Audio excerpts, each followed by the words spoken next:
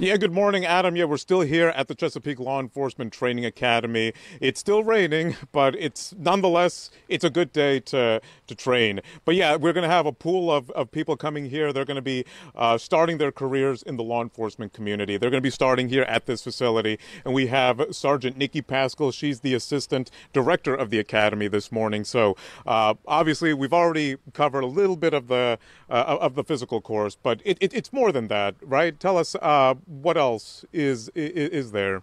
We have um, about so throughout the academy we take um, a collective 11 written tests.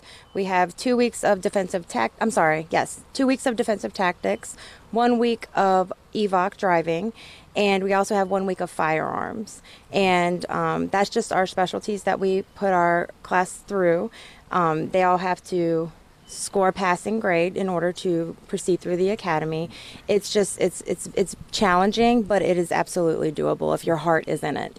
And of course, right now it's a very crucial time for you guys, not only for the Chesapeake Sheriff's Office, but for just sheriff's offices all across Hampton Roads. You guys are in need of recruits right now. Tell us a little bit about that. Yes, it's uh, we we are we are always in need. Um, as of right now, especially we we would really appreciate anybody to come out. If you have the heart and the drive to come into law enforcement, please come and do it. Don't ever feel like it's not something that can't be done. If it's something that you want to do, you can do it, and we welcome it here.